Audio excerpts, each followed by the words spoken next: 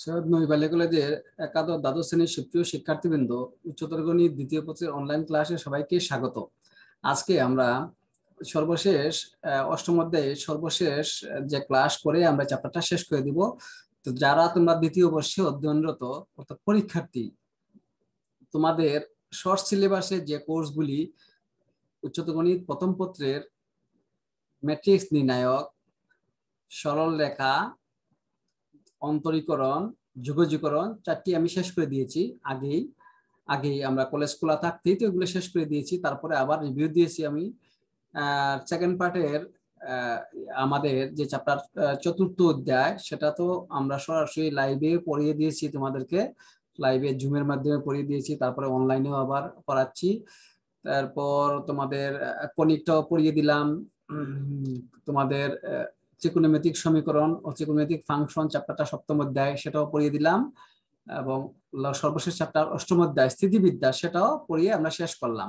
এরপরে দ্বিতীয় বর্ষে যারা আছো, তোমরা সবাই কি করবে? রিভিশন দিবে। আমি বিভিন্ন নেক্সট ক্লাস থেকে আমি তোমাদেরকে বিভিন্ন ধরনের সৃজনশীল প্রশ্নগুলি দিব অবজেক্টিভ দিব অবজেক্টিভ গুগল ডকের মাধ্যমে আমি তোমাদেরকে প্রশ্ন দিব, তোমরা অবজেক্টিভ প্র্যাকটিস করবে, পরীক্ষা দিবে, তাহলে তোমাদের প্রিপারেশনটা ভালো হয়ে যাবে। এবং সৃজনশীল যে প্রশ্নগুলি, সেগুলি যদি আমি প্রতিদিন দুইটা, তিনটা করে দিয়ে দিই তোমাদেরকে, বা সৃজনশীল প্রশ্ন একসাথে আমি পনেরোটা দিয়ে দিলাম, তোমরা প্রতিদিন দুইটা দুইটা করে উত্তর আমাকে পাঠিয়ে দিলে তাও তোমাদের রিভিশন হবে।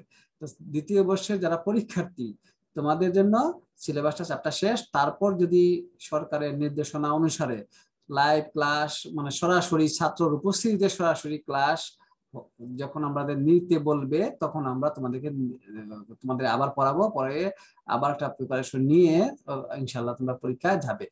তো আমি এখন সর্বশেষ ক্লাসের যে কিছু প্রবলেম আছে, সেগুলো আমরা সলভ করে দিই তোমাদেরকে।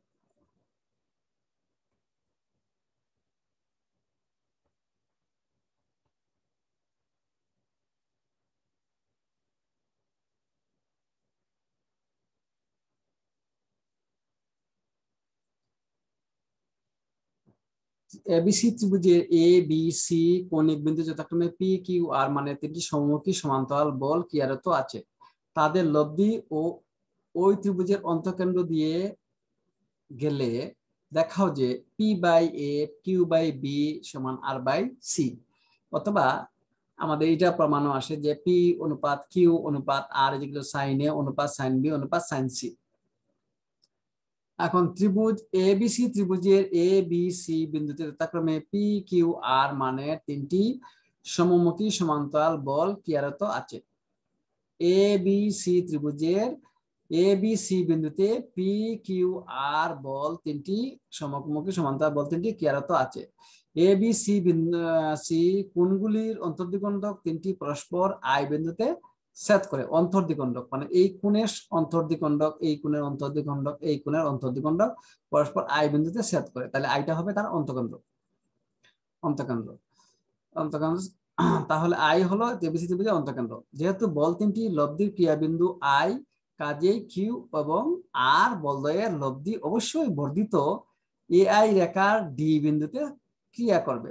এটা যদি বর্ধিত করি, তাহলে এটা সোজা ডি বিন্দুতে অবশ্যই সেট করবে। সেট করবে।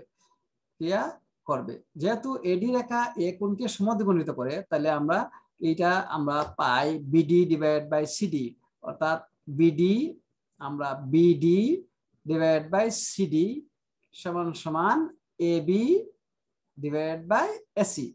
অর্থাৎ এই বিডির সাথে এই ত্রিভুজের ক্ষেত্রে, এই ত্রিভুজের ক্ষেত্রে এই বিডি ডিভাইড বাই এই ত্রিভুজের ক্ষেত্রে সিডি লিখলাম। তাহলে এই ত্রিভুজের এই ত্রিভুজের প্রথম বাহু বিডি নিচে লিখলাম এই ত্রিভুজের এই সিডি সিডি তাহলে স্বভাবতই যেহেতু এই প্রথম ত্রিভুজের এই বাহুটা বিডিটা আমরা আগে লিখছি, তাহলে এই ত্রিভুজের অপর বাহুটা উপরে হবে।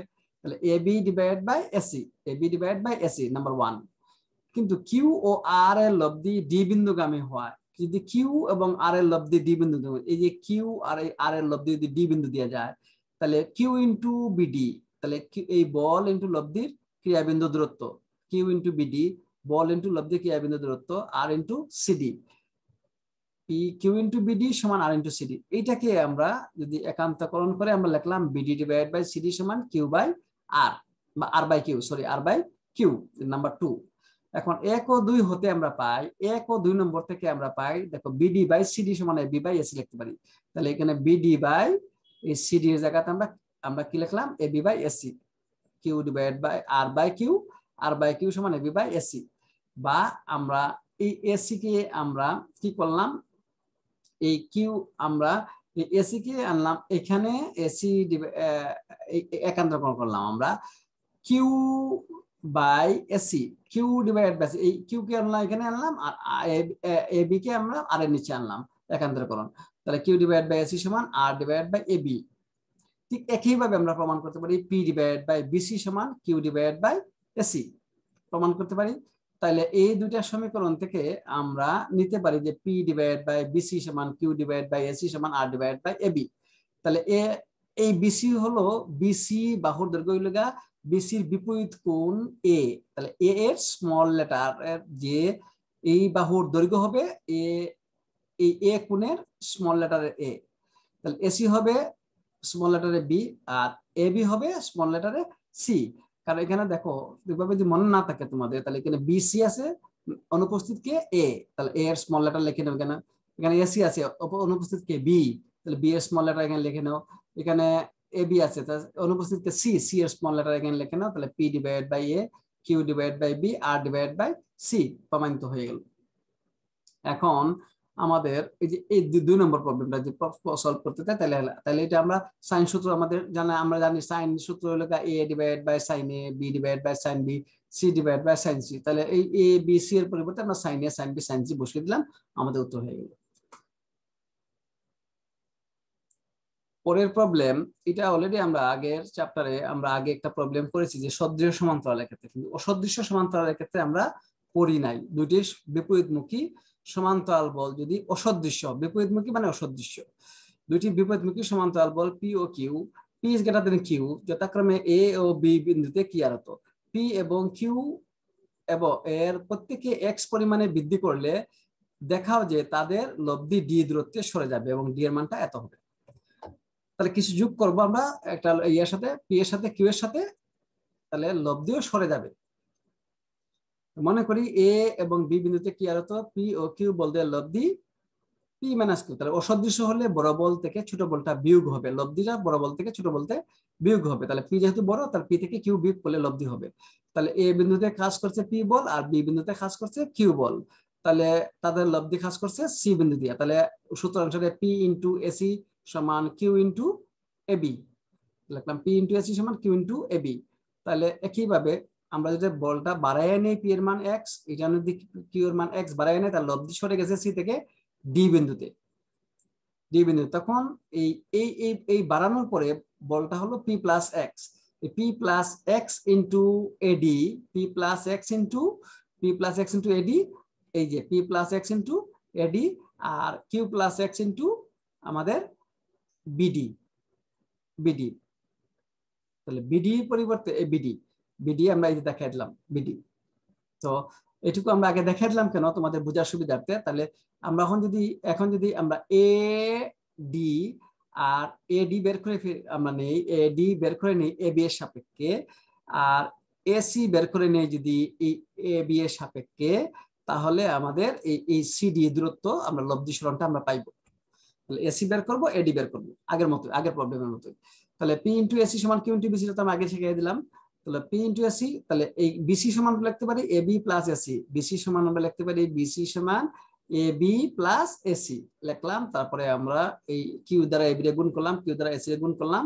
তারপরে কিউ ইন্টু এসি আমরা একদিকে নিয়ে আসলাম, আনলে P minus Q into AC এসির মানটা বের করলাম Q divide by P minus Q A B ঠিক একইভাবে এটাও আমরা বলে নিয়েছি অলরেডি তারপরে আমরা আবার দেখাই দিচ্ছি যে পি ও কিউ প্রত্যেককে যদি এক্স পরিমাণে বৃদ্ধি করি, তাহলে এ বিন্দুতে কি হতো বল হবে পি প্লাস এক্স এবং বি বিন্দুতে কি হতো বল হবে কিউ প্লাস এক্স তাদের লব্ধি পি প্লাস এক্স আর মাইনাস কিউ প্লাস এক্স তাহলে এখানে অলরেডি দাঁড়াল আমাদের কি? পি মাইনাস কিউ বলটি বর্ধিত এ বি এর উপরস্থ ডি বিন্দুতে ক্রিয়া করে। তাহলে এটুকু তো আমি আগে বুঝিয়ে দিলাম যে তাহলে বল হবে তার বল হবে, বলটা যে বিন্দুতে ক্রিয়ারত আছে, সেই বিন্দু থেকে লব্ধি দূরত্বের গুণফলের সমান। এখানে বলটা হবে লব্ধির যে বিন্দুতে বলটা আছে, সেই বিন্দু থেকে লব্ধির দূরত্বের সমান।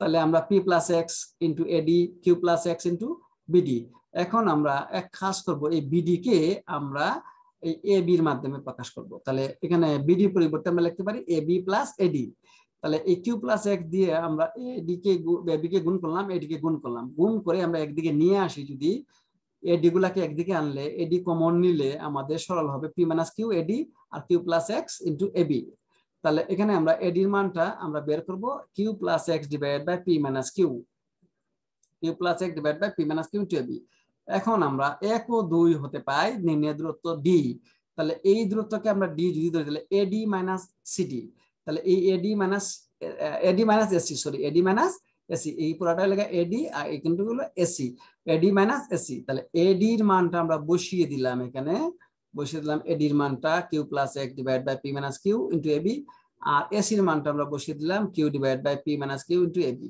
আমরা সরল করলাম, লসাগু নিলাম, লসাগু নেওয়ার পরে কিউ কিউ কেটে দিলাম, তাহলে এখানে এক্স থাকল X divide by P minus Q AB আর এই এই এই যে আমাদের সিডি সিডির মানটা ডি সুতরাং CD D equal to X divide by P minus Q into AB আমরা সদৃশ সমান্তরালের যে অঙ্কগুলি আমরা, সবগুলি আমরা শেষ করে দিলাম।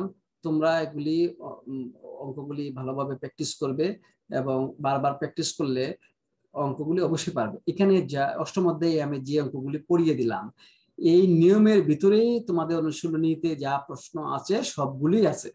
সবগুলি একই নিয়মে তোমরা বাসায় ট্রাই করবে। যদি কেউ কোনো, কারও কোনো সমস্যা হয়, বুঝতে তোমাদের আমাদের, আমার তো হোয়াটসঅ্যাপ নাম্বারে হোয়াটসঅ্যাপ গ্রুপে তোমাদের নাম সংযুক্ত আছে। হোয়াটসঅ্যাপ নাম্বারে আমার গ্রুপে তো তোমরা সবাই সংযুক্ত আছো, তোমরা আমাকে মেসেজ দিবে বলবে, আমরা লাইভ ক্লাসে পড়িয়ে দিব। দরকার হলে আমরা ঝুম দিয়ে আবার লাইভ ক্লাসে আমরা আবার পড়িয়ে দিব, বুঝিয়ে দিব। যদি ঝুমে বুঝতে সমস্যা হয়, তাহলে যেদিন সরাসরি কলেজ খুলবে, সেদিন আমরা তোমাদেরকে বুঝিয়ে দিয়ে আমরা পরীক্ষার প্রিপারেশন ভালোভাবে নিব। সবাইকে ধন্যবাদ।